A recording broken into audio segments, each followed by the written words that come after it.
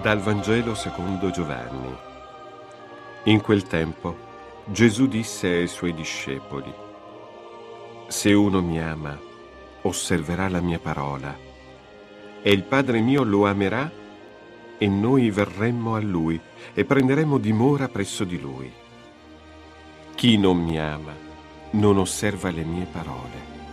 La parola che voi ascoltate non è mia, ma del Padre che mi ha mandato.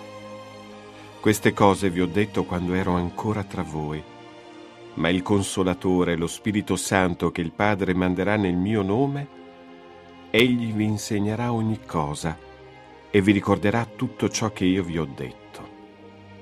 Vi lascio la pace, vi do la mia pace. Non come la dà il mondo, io la do a voi. Non sia turbato il vostro cuore e non abbia timore. Avete udito che vi ho detto, vado e tornerò a voi.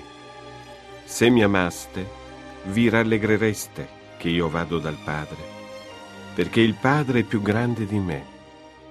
Ve l'ho detto adesso, prima che avvenga, perché quando avverrà voi crediate.